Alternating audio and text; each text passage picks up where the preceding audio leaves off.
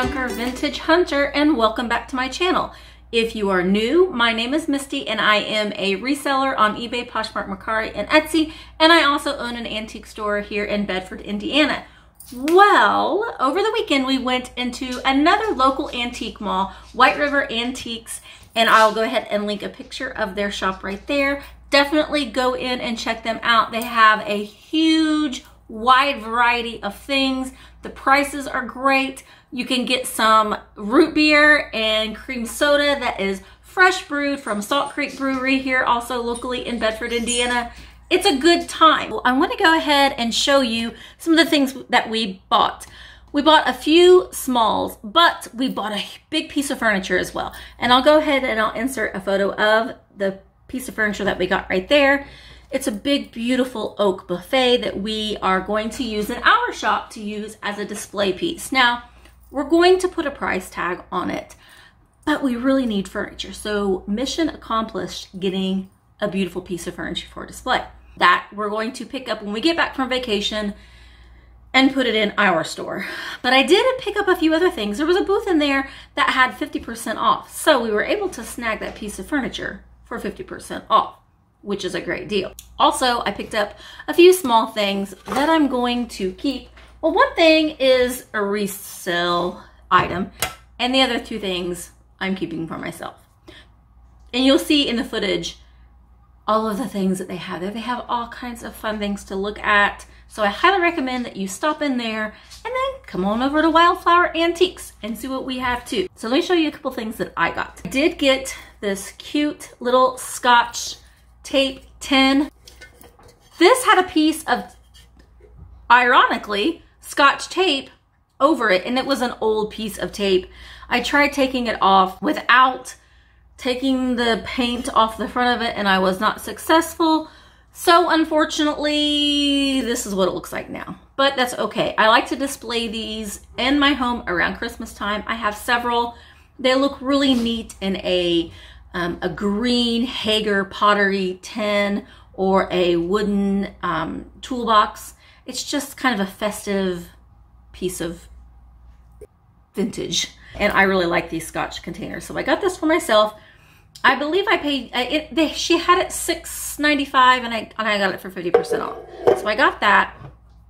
I also picked up, this is something that I have seen before. I've actually bought it at the bins. I didn't know what it was. I just thought that it looked interesting and old and vintage and cool.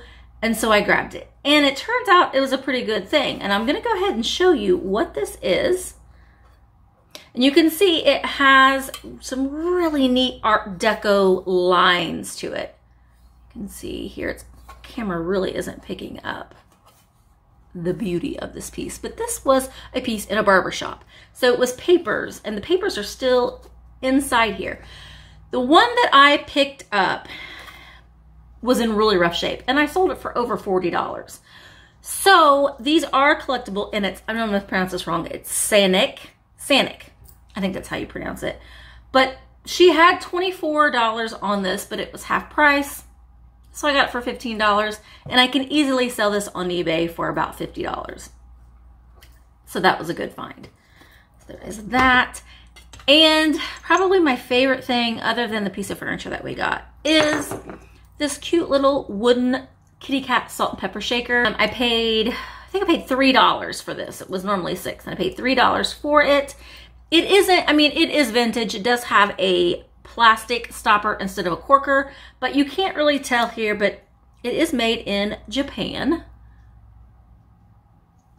And the reason why I got this, I mean, other than it's a cute little red kitty cat, I mean, that's the main, that's probably the first thing. No, it isn't the first thing because I was looking for this guy because I already had this guy.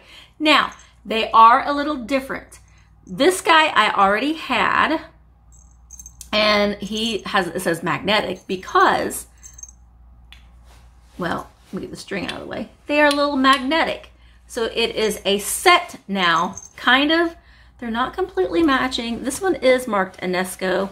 So this one's probably the better of the two. It still has this little dingle, dingle bell.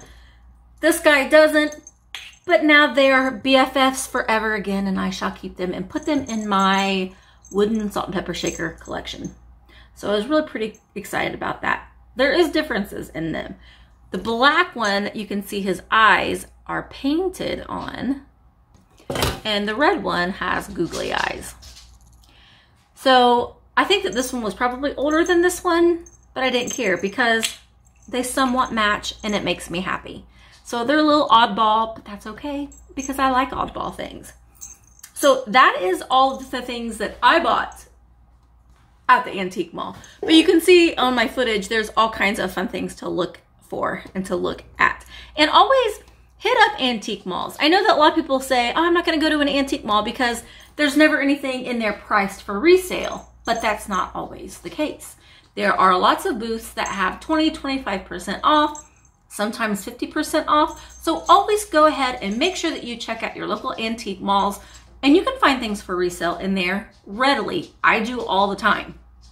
So with that being said, I'm gonna go ahead and wrap up this video. Thank you so much for watching. If you haven't already, please subscribe to my channel. I will put out content uh, as far as reselling and vintage and antiques and collectibles.